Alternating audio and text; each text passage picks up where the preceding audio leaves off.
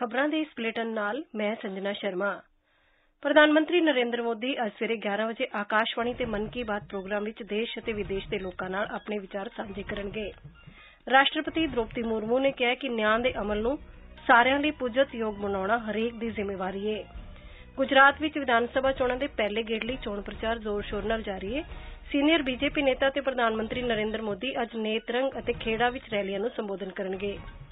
ਵਿਦੇਸ਼ ਮੰਤਰੀ doctor S Jaishankar ਨੇ ਕਿਹਾ ਕਿ ਕੇਂਦਰ ਉੱਤਰ ਪੂਰਬੀ ਖਿੱਤੇ ਵਿੱਚ ਸੰਪਰਕ ਅਤੇ ਬੁਨਿਆਦੀ ਢਾਂਚੇ 'ਚ ਸੁਧਾਰ ਕਰਨ ਲਈ ਕੰਮ ਕਰ ਰਿਹਾ ਹੈ। ਕ੍ਰਿਕਟ ਵਿੱਚ ਹੈਮਿਲਟਨ ਵਿਖੇ ਭਾਰਤ ਅਤੇ ਨਿਊਜ਼ੀਲੈਂਡ ਦਰਮਿਆਨ ਖੇਡੇ ਜਾ ਰਹੇ ਦੂਜੇ ਇੱਕ ਦਿਨਾ ਅੰਤਰਰਾਸ਼ਟਰੀ ਮੈਚ ਵਿੱਚ ਮੀਂਹ ਕਾਰਨ ਵਿਘਨ ਪਿਆ ਤੇ ਫੀਫਾ ਵਿਸ਼ਵ ਕੱਪ ਫੁੱਟਬਾਲ ਵਿੱਚ ਅੱਜ ਜਾਪਾਨ ਦਾ ਕੋਸਟਾਰੀਕਾ ਨਾਲ, ਬੈਲਜੀਅਮ ਦਾ ਮੋਰੋਕੋ ਨਾਲ ਅਤੇ ਕ੍ਰੋਏਸ਼ੀਆ ਦਾ ਕੈਨੇਡਾ ਨਾਲ ਮੁਕਾਬਲਾ ਹੋਏਗਾ।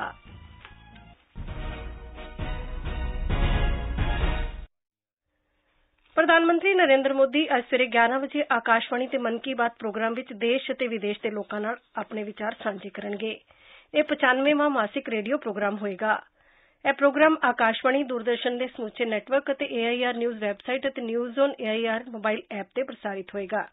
ਇਹ ਆਕਾਸ਼ਵਾਣੀ ਖਬਰਾਂ ਡੀਡੀ ਨਿਊਜ਼, ਪ੍ਰਧਾਨ ਮੰਤਰੀ ਦੇ ਦਫ਼ਤਰ ਅਤੇ ਸੂਚਨਾ ਤੇ ਪ੍ਰਸਾਰਣ ਮੰਤਰਾਲੇ ਦੇ YouTube ਚੈਨਲਾਂ ਤੇ ਵੀ ਲਾਈਵ ਸਟ੍ਰੀਮ ਕੀਤਾ ਜਾਏਗਾ। ਹਿੰਦੀ ਪ੍ਰਸਾਰਣ ਦੇ ਫੌਰਨ ਬਾਅਦ ਖੇਤਰੀ ਭਾਸ਼ਾਵਾਂ ਵਿੱਚ ਪ੍ਰੋਗਰਾਮ ਦਾ ਪ੍ਰਸਾਰਣ ਹੋਏਗਾ। ਰਾਸ਼ਟਰਪਤੀ ਦ੍ਰੋਪਦੀ ਮੁਰਮੂ ਨੇ ਕਿਹਾ ਕਿ ਪ੍ਰਸਤਾਵਨਾ ਦਾ ਇੱਕੋ ਇੱਕ ਧਿਆਨ ਸਮਾਜਿਕ ਭਲਾਈ 'ਚ ਸੁਧਾਰ ਕਰਨ ਤੇ ਕੇਂਦਰਿਤ ਹੈ। ਕੱਲ ਨਵੀਂ ਦਿੱਲੀ 'ਚ ਸੁਪਰੀਮ ਕੋਰਟ ਵੱਲੋਂ ਕਰਾਏ ਗਏ ਸੰਵਿਧਾਨ ਦਿਵਸ ਜਸ਼ਨਾਂ ਦੇ ਸਮਾਪਤੀ ਸੰਬੋਧਨ ਵਿੱਚ ਰਾਸ਼ਟਰਪਤੀ ਮੁਰਮੂ ਨੇ ਕਿਹਾ ਕਿ ਹੁਣ ਸਾਰਿਆਂ ਲਈ ਪੁੱਜਤਯੋਗ ਨਿਆਂ ਦੇਣ ਦੇ ਅਮਲ ਨੂੰ ਯਕੀਨੀ ਬਣਾਉਣਾ ਹਰੇਕ ਦੇਸ਼ਵਾਸੀ ਦੀ ਜ਼ਿੰਮੇਵਾਰੀ ਏ। ਉਨ੍ਹਾਂ ਨੇ ਸੁਪਰੀਮ ਕੋਰਟ ਅਤੇ ਦੇਸ਼ ਵਿੱਚ ਹੋਰ ਅਦਾਲਤਾਂ, ਜਿਨ੍ਹਾਂ ਨੇ ਖੇਤਰੀ ਭਾਸ਼ਾਵਾਂ ਵਿੱਚ ਫੈਸਲੇ ਉਪਲਬਧ ਕਰਾਉਣ ਦਾ ਯਤਨ ਕੀਤਾ, ਨੇ ਮਹੱਤਵਪੂਰਨ ਫੈਸਲਿਆਂ ਨੂੰ ਪਹੁੰਚਯੋਗ ਬਣਾਇਆ ਦੀ ਸ਼ਲਾਘਾ ਕੀਤੀ। ਉਨੂਾ ਕਿਹਾ ਕਿ ਅਦਾਲਤਾਂ ਦੀਆਂ ਕਾਰਵਾਈਆਂ ਦੀ ਲਾਈਵ ਸਟ੍ਰੀਮਿੰਗ ਵੀ ਜਨਤਕ ਜਾਗਰੂਕਤਾ ਵਧਾਉਣ ਵਿੱਚ ਮਦਦਗਾਰ ਸਾਬਿਤ ਹੋਏਗੀ। ਰਾਸ਼ਟਰਪਤੀ ਨੇ ਕਿਹਾ ਕਿ ਸੁਪਰੀਮ ਕੋਰਟ ਵੱਲੋਂ ਪਾਸ ਕੀਤੇ ਗਏ ਇਤਿਹਾਸਕ ਫੈਸਲਿਆਂ ਨੇ ਕਾਨੂੰਨੀ ਅਤੇ ਸੰਵਿਧਾਨਕ ਢਾਂਚੇ ਨੂੰ ਮਜ਼ਬੂਤ ਕੀਤਾ ਹੈ। ਉਨ੍ਹਾਂ ਵਿਸ਼ਵਾਸ ਜ਼ਾਹਿਰ ਕੀਤਾ ਕਿ ਸਰਵਉੱਚ ਅਦਾਲਤ ਆਉਣ ਵਾਲੇ ਸਮਿਆਂ ਵਿੱਚ ਨਿਆਂ ਦਾ ਪਹਿਰੇਦਾਰ ਬਣੀ ਰਹੇਗੀ। ਪਹਿਲਾਂ ਸੰਵਿਧਾਨ ਸਭਾ ਵੱਲੋਂ ਭਾਰਤੀ ਸੰਵਿਧਾਨ ਨੂੰ ਪ੍ਰਵਾਨ ਕੀਤੇ ਜਾਣ ਦੇ ਦਿਨ ਵਜੋਂ ਕੱਲ ਦੇਸ਼ ਭਰ 'ਚ ਸੰਵਿਧਾਨ ਦਿਵਸ ਮਨਾਇਆ ਗਿਆ। ਰਾਸ਼ਟਰਪਤੀ ਦ੍ਰੋਪਦੀ ਮੁਰਮੂ ਤੇ ਪ੍ਰਧਾਨ ਮੰਤਰੀ ਨਰੇਂਦਰ ਮੋਦੀ ਨੇ ਇਸਰੋ ਨੂੰ ਪੀਐਸਐਲਵੀ ਸੀ54 ਮਿਸ਼ਨ ਨੂੰ ਸਫਲਤਾ ਨਾਲ ਦਾਗੇ ਜਾਣ ਲਈ ਵਧਾਈ ਦਿੱਤੀ ਏ। ਆਪਣੇ ਸੁਨੇਹੇ ਵਿੱਚ ਰਾਸ਼ਟਰਪਤੀ ਮੁਰਮੂ ਨੇ ਭਾਰਤ ਅਤੇ ਭੂਟਾਨ ਦੀਆਂ ਟੀਮਾਂ ਨੂੰ ਸਾਂਝੇ ਤੌਰ ਤੇ ਵਿਕਸਿਤ ਕੀਤਾ ਗਿਆ ਉਪਗ੍ਰਹਿ ਲਾਂਚ ਕਰਨ ਦੀ ਸ਼ਲਾਘਾ ਕੀਤੀ। ਪ੍ਰਧਾਨ ਮੰਤਰੀ ਨਰੇਂਦਰ ਮੋਦੀ ਨੇ ਆਪਣੇ ਸੁਨੇਹੇ 'ਚ ਕਿਹਾ ਕਿ EOS 06 ਉਪਗ੍ਰਹਿ ਸਮੁੰਦਰੀ ਵਸੀਲਿਆਂ ਦੀ ਸਹੀ ਢੰਗ ਨਾਲ ਵਰਤੋਂ ਕਰਨ 'ਚ ਮਦਦ ਕਰੇਗਾ। ਉਨ੍ਹਾਂ ਕਿਹਾ ਕਿ ਭਾਰਤੀ ਕੰਪਨੀਆਂ ਪਿਕਸਲ ਸਪੇਸ ਅਤੇ ਧਰੁਵਾ ਸਪੇਸ ਤੋਂ ਤਿੰਨ ਉਪਗ੍ਰਹਿਾਂ ਨੂੰ ਦਾਗੇ ਜਾਣਾ ਨਵੇਂ ਯੁੱਗ ਦੀ ਸ਼ੁਰੂਆਤ ਹੈ, ਜਿੱਥੇ ਪੁਲਾੜ ਤਕਨਾਲੋਜੀ ਵਿੱਚ ਭਾਰਤੀ ਹੁਨਰ ਦੀ ਪੂਰੀ ਤਰ੍ਹਾਂ ਵਰਤੋਂ ਕੀਤੀ ਜਾ ਸਕਦੀ ਹੈ। ਉਨੂਾਂ ਨੇ ਲਾਂਚ ਵਿੱਚ ਸ਼ਾਮਲ ਸਾਰੀਆਂ ਕੰਪਨੀਆਂ ਤੇ ਵਿਅਕਤੀਆਂ ਨੂੰ ਵਧਾਈ ਦਿੱਤੀ। ਸ਼੍ਰੀ ਮੋਦੀ ਨੇ ਕਿਹਾ ਕਿ ਭਾਰਤ ਭੂਟਾਨ ਉਪਗ੍ਰਹਿ ਭੂਟਾਨ ਦੇ ਲੋਕਾਂ ਨਾਲ ਵਿਸ਼ੇਸ਼ ਸੰਬੰਧ ਦਾ ਸਾਖੀ ਹੈ। ਉਨੂਾਂ ਨੇ ਇਸਰੋ ਤੇ ਭੂਟਾਨ ਦੇ ਸੂਚਨਾ ਤਕਨਾਲੋਜੀ ਤੇ ਦੂਰਸੰਚਾਰ ਵਿਭਾਗ ਦੇ ਸਾਂਝੇ ਤੌਰ ਤੇ ਵਿਕਸਿਤ ਕੀਤੇ ਗਏ ਇਸ ਉਪਗ੍ਰਹਿ ਨੂੰ ਸਫਲਤਾ ਨਾਲ ਦਾਗੇ ਜਾਣ ਦੀ ਸ਼ਲਾਘਾ ਕੀਤੀ। ਗੁਜਰਾਤ ਵਿੱਚ ਵਿਧਾਨ ਸਭਾ ਚੋਣਾਂ ਦੇ ਪਹਿਲੇ ਗੇੜ ਲਈ ਚੋਣ ਪ੍ਰਚਾਰ ਪੂਰੇ ਜ਼ੋਰਾਂ ਤੇ ਹੈ। ਸਿਆਸੀ ਪਾਰਟੀਆਂ ਵੋਟਰਾਂ ਨੂੰ ਲੁਭਾਉਣ ਲਈ ਹਰ ਕੋਸ਼ਿਸ਼ ਕਰ ਰਹੀਆਂ ਨੇ। ਸੀਨੀਅਰ ਬੀਜੇਪੀ ਨੇਤਾ ਤੇ ਪ੍ਰਧਾਨ ਮੰਤਰੀ ਨਰਿੰਦਰ ਮੋਦੀ ਦਾ ਅੱਜ ਨੇਤਰੰਗ ਅਤੇ ਖੇੜਾ ਵਿਖੇ ਰੈਲੀਆਂ ਨੂੰ ਸੰਬੋਧਨ ਕਰਨ ਦਾ ਪ੍ਰੋਗਰਾਮ ਹੈ। ਸ਼੍ਰੀ ਮੋਦੀ ਇੱਕ ਰੋਡ ਸ਼ੋਅ ਤੋਂ ਬਾਅਦ ਸੂਰਤ ਵਿੱਚ ਇੱਕ ਜਨ ਸਭਾ ਨੂੰ ਸੰਬੋਧਨ ਕਰਨਗੇ। ਗ੍ਰਹਿ ਮੰਤਰੀ ਅਮਿਤ ਸ਼ਾਹ ਵੱਖ-ਵੱਖ ਥਾਵਾਂ ਤੇ ਬੀਜੇਪੀ ਦੇ ਉਮੀਦਵਾਰਾਂ ਦੇ ਪੱਖ ਵਿੱਚ ਚੋਣ ਮੀਟਿੰਗਾਂ ਕਰਨਗੇ। ਇਸ ਤੋਂ ਇਲਾਵਾ ਸੀਨੀਅਰ ਪਾਰਟੀ ਨੇਤਾ ਅਤੇ ਕੇਂਦਰੀ ਮੰਤਰੀ ਸਮ੍ਰਿਤੀ ਇਰਾਨੀ ਅਤੇ ਪੁਰਸ਼ੋਤਮ ਰੁਪਾਲਾ ਵੀ ਜਨ ਸਭਾਵਾਂ ਤੇ ਰੋਡ ਸ਼ੋਅ ਕਰਨਗੇ। ਕਾਂਗਰਸ ਪ੍ਰਧਾਨ ਮਲਿਕਾਰਜੁਨ ਖੜਕੇ ਅਤੇ ਰਾਜਸਥਾਨ ਦੇ ਮੁੱਖ ਮੰਤਰੀ ਅਸ਼ੋਕ ਗਹਿਲੋਤ ਵੀ ਰਾਜ ਵਿੱਚ ਚੋਣ ਪ੍ਰਚਾਰ ਕਰਨਗੇ। ਆਮ ਆਦਮੀ ਪਾਰਟੀ ਦੇ ਰਾਸ਼ਟਰੀ ਕਨਵੀਨਰ ਅਰਵਿੰਦ ਕੇਜਰੀਵਾਲ ਕੇਜਰੀਵਾਲ ਸੂਰਤ ਵਿੱਚ ਇੱਕ ਪ੍ਰੈਸ ਕਾਨਫਰੰਸ ਕਰਨਗੇ ਅਤੇ ਇੱਕ ਰੋਡ ਸ਼ੋਅ ਦੀ ਅਗਵਾਈ ਕਰਨਗੇ। ਗੁਜਰਾਤ ਵਿੱਚ ਪਹਿਲੇ ਗੇੜ ਦੀ ਪੋਲਿੰਗ ਪਹਿਲੀ ਦਸੰਬਰ ਨੂੰ ਹੋਏਗੀ, ਜਦਕਿ ਦੂਜੇ ਗੇੜ ਦੀ ਪੋਲਿੰਗ 5 ਦਸੰਬਰ ਨੂੰ ਹੋਏਗੀ। ਵੋਟਾਂ ਦੀ ਗਿਣਤੀ 8 ਦਸੰਬਰ ਨੂੰ ਕੀਤੀ ਜਾਏਗੀ। ਸਾਡੇ ਪੱਤਰ ਪ੍ਰੇਰਕ ਨੇ ਖਬਰ ਦਿੱਤੀ ਹੈ ਕਿ ਚੁਗਿਰਦੇ ਦੀ ਸੰਭਾਲ ਬਾਰੇ ਸੁਨੇਹਾ ਫੈਲਾਉਣ ਲਈ ਰਾਜ ਵਿੱਚ ਚੁਗਿਰਦਾ ਪੱਖੀ ਵੋਟ ਕੇਂਦਰ ਕਾਇਮ ਕੀਤੇ ਜਾਣਗੇ। ਇਹ ਖਬਰਾਂ ਤੁਸੀਂ ਆਕਾਸ਼ਵਾਣੀ ਤੋਂ ਸੁਣ ਰਹੇ ਹੋ।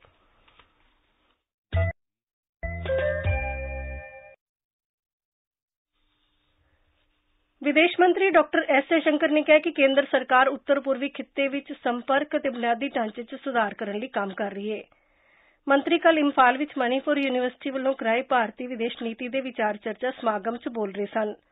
ਉੱਤਰ ਪੂਰਬ 'ਚ ਸੰਪਰਕ ਵਿੱਚ ਸੁਧਾਰ ਕਰਨ ਦੇ ਮਹੱਤਵ ਤੇ ਜ਼ੋਰ ਦਿੰਦਿਆਂ ਡਾਕਟਰ ਜੈਸ਼ੰਕਰ ਨੇ ਕਿਹਾ ਕਿ ਇਹ ਦੁਨੀਆ ਲਈ ਵਿਆਪਕ ਰਾਹ ਖੋਲੇਗਾ ਅਤੇ ਆਲਮੀ ਬਾਜ਼ਾਰਾਂ ਤੇ ਕੰਮਕਾਜੀ ਸਥਾਨਾਂ ਵਿੱਚ ਆਪਣੀ ਪਹੁੰਚ ਦਾ ਪਸਾਰ ਕਰੇਗਾ। ਉਨ੍ਹਾਂ ਨੇ ਦੁਨੀਆ ਦੇ ਤੇਜ਼ੀ ਨਾਲ ਹੋ ਰਹੇ ਆਲਮੀਕਰਨ ਅਤੇ ਉਨ੍ਹਾਂ ਦੇ ਜੀਵਨ ਤੇ ਇਸ ਦੇ ਪ੍ਰਭਾਵ ਬਾਰੇ ਗੱਲ ਕੀਤੀ ਅਤੇ ਭਾਰਤ ਦੀਆਂ ਪ੍ਰਾਪਤੀਆਂ ਦੇ ਆਲਮੀ ਮਹੱਤਵ ਬਾਰੇ ਵਿਚਾਰ ਸਾਂਝੇ ਕੀਤੇ। ਮੰਤਰੀ ਮਣੀਪੁਰ ਦੇ 3 ਦਿਨਾਂ ਦੌਰੇ ਤੇ ਕੱਲ ਇੰਫਾਲ ਪਹੁੰਚੇ। ਡਾਕਟਰ ਜੈਸ਼ੰਕਰ ਨੇ ਇੰਫਾਲ ਵਿੱਚ ਵਪਾਰਕ ਭਾਈਚਾਰੇ ਨਾਲ ਗੱਲਬਾਤ ਕੀਤੀ ਹੈ ਭਾਰਤ ਦਾ ਲੋਕ ਸੇਵਾ ਪ੍ਰਸਾਰਕ ਪ੍ਰਸਾਰ ਭਾਰਤੀ 59ਵੀਂ ਏਸ਼ੀਆਈ ਪ੍ਰਸ਼ਾਂਤ ਸੰਘ ਏਬੀਯੂ ਮਹਾਸਭਾ 2022 ਦੀ ਮੇਜ਼ਬਾਨੀ ਕਰ ਰਿਹਾ ਹੈ। ਕਾਨਫਰੰਸ 25 ਨਵੰਬਰ ਨੂੰ ਨਵੀਂ ਦਿੱਲੀ 'ਚ ਸ਼ੁਰੂ ਹੋਈ ਤੇ ਇਸ ਮਹੀਨੇ ਦੀ 30 ਤਰੀਕ ਤੱਕ ਚੱਲੇਗੀ। ਇਸ ਸਾਲ ਦੀ ਸਭਾ ਦਾ ਵਿਸ਼ਾ ਹੈ serving the people media's role in times of crisis. ਭਾਵ ਲੋਕਾਂ ਦੀ ਸੇਵਾ ਸੰਕਟ ਦੇ ਸਮਿਆਂ ਵਿੱਚ ਮੀਡੀਆ ਦੀ ਭੂਮਿਕਾ। ਇਹ ਸਮਾਰੋਹ ਭਾਰਤ ਦੀ ਆਜ਼ਾਦੀ ਦੇ 75ਵੇਂ ਸਾਲ ਦੇ ਮੌਕੇ ਤੇ ਮਨਾਏ ਜਾ ਰਹੇ ਆਜ਼ਾਦੀ ਕਾ ਅੰਮ੍ਰਿਤ ਮਹੋਤਸਵ ਦੇ ਨਾਲ ਹੋ ਰਿਹਾ ਹੈ।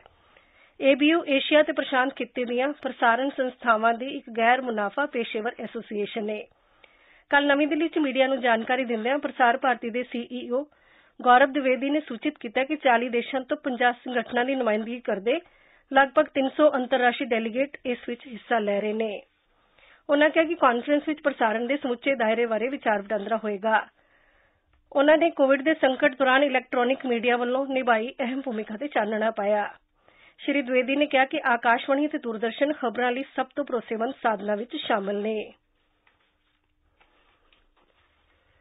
ਖਜ਼ਾਨਾ ਮੰਤਰੀ ਨਿਰਮਲਾ ਸੀਤਾਰਮਨ ਨੇ ਕਿਹਾ ਕਿ ਜੀਵੀ ਸਮੂਹ ਦੇ ਪ੍ਰਧਾਨ ਵਜੋਂ ਭਾਰਤ ਦੇ ਕਾਰਜਕਾਲ ਦੌਰਾਨ ਅਗਲੇ ਸਾਲ ਫਰਵਰੀ ਵਿੱਚ ਜੀਵੀ ਖਜ਼ਾਨਾ ਮੰਤਰੀਆਂ ਤੇ ਕੇਂਦਰੀ ਬੈਂਕ ਦੇ ਗਵਰਨਰਸ ਦੀ ਇੱਕ ਮੀਟਿੰਗ ਦੀ ਮੇਜ਼ਬਾਨੀ ਕਰੇਗਾ।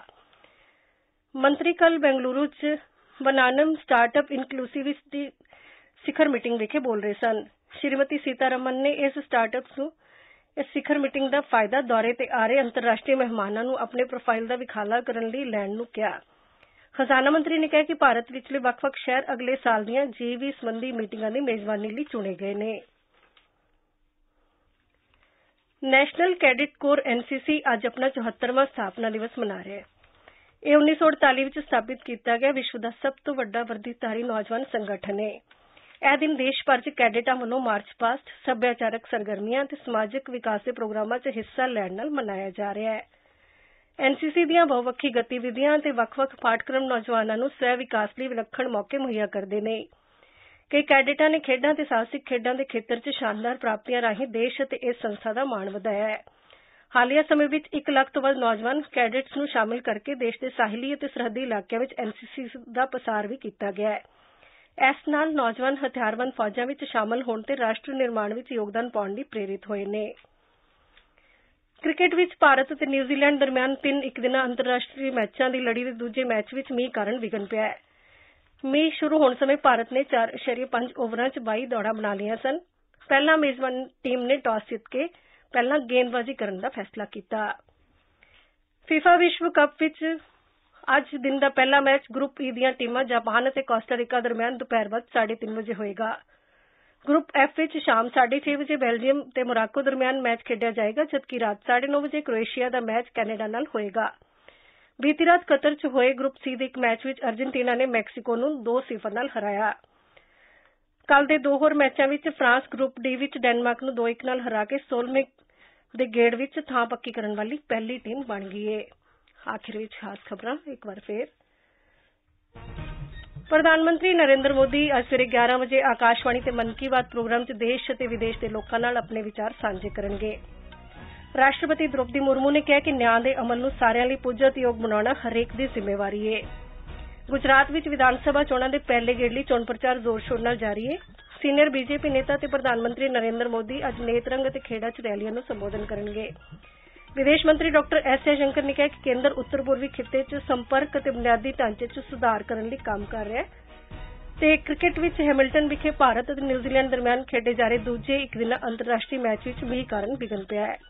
ਆਕਾਸ਼ਵਾਣੀ ਤੋਂ ਖਬਰਾਂ ਦਾ ਬੁਲੇਟਿਨ ਖਤਮ ਹੁੰਦਾ ਹੈ।